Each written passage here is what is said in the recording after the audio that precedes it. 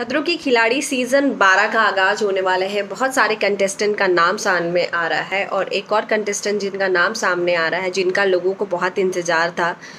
मैं बात कर रही हूँ प्रतीक सहजपाल का नाम सामने आ रहा है कि he is the confirm contestant of Khatron Ki Khiladi season 12 पर उन्होंने अभी तक अपनी तरफ़ से कुछ नहीं बताया है। जैसे निशांत भाट ने बता दिया है, रुबीना ने बता दिया है, तुषार कालिया ने बता दिया है।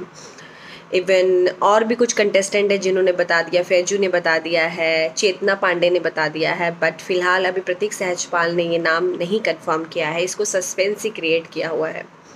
निशान बट और आपको दोबारा दिखने पड़ेगी, कहीं आप बोर तो नहीं हो गए ये जोड़ी देख देख भैया इस बार भी और इस बार मुझे लगता है प्रतीक निशान के पास ही चिपका रहेगा, तीन, चार, पाँच होता रहेगा और वो इस बार भी उसका रियल गेम उभर के नहीं आएगा। पता नहीं क्यों मुझे ऐसा लगता है कि इस बार निश, प्रतीक सहजपाल को अकेले जाना चाहिए था।